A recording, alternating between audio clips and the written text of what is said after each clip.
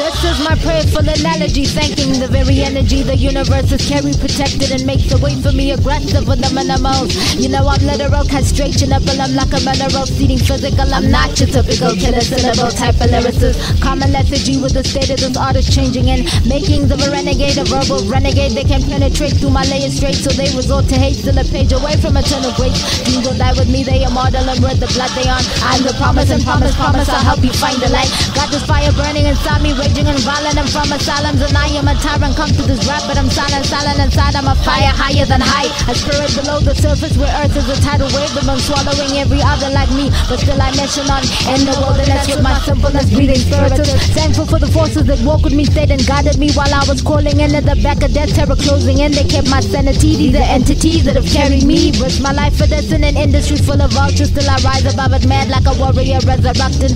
Carla died while seeking nirvana. She never found it, so she hung herself and buried her misery in the brooks of death. So unhappy, but Bloody Mary, she was a shining light. Time and time again, pick it up and then she would start again. People of the kingdom, people of the light, people of my kind who are dying in darkness, darkness so consuming and swallows them in the wilderness. All the crazy visions I'm having and how they speak to me. I'm a GN and crazy God with a mission, and if I could liberate them, I would liberate them gladly. Lead you to the promised land, like it's a calling to me. Help me get get the keys the king,